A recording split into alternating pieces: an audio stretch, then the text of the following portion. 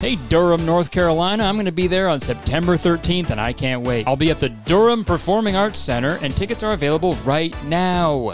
I'm going ham in Durham. I'll see you there.